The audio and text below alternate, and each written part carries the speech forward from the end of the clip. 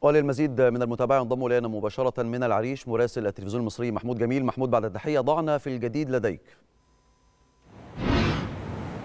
تحياتي لك يوسف. يعني ربما اليوم الجديد هو في مطار العريش وفي معبر رفح فيما يتعلق بمطار العريش الزيارة الهامة لوكيل الأمين العام للأمم المتحدة الذي توجه على رأس وفد من الأمم المتحدة إلى معبر رفح دخولا إلى قطاع غزة. هذه الزيارة مهمة لأنه ربما أشار وزير الخارجية الأمريكي إلى سماح إسرائيل بدخول وفد من الأمم المتحدة لشمال غزة لتفقد الأوضاع هناك. فهذه الزيارة مهمة ومرتقبة مع زيارات عديدة وربما بالتزامن مع عمل وزيرة الوزير الهولندية سيجريت كاج كمنسقة للشؤون الإنسانية وإعادة الإعمار في غزة، هذه الزيارة تم التأكيد فيها أيضا على الجهود المصرية الموجودة في مدينة العريش من إدخال وتجهيز وإرسال المساعدات المختلفة واستقبال عدد المصابين والجرحى. على الجانب الآخر إذا تحدثنا عن معبر رفح اليوم هو استقبل بالفعل هذه الزيارة التي توجهت إلى شمال قطاع غزة بالإضافة إلى استقبال الجرحى والمصابين. نتحدث عن استقبال ما يقرب من 40 مصاب اليوم. يتم تقديم كل الخدمات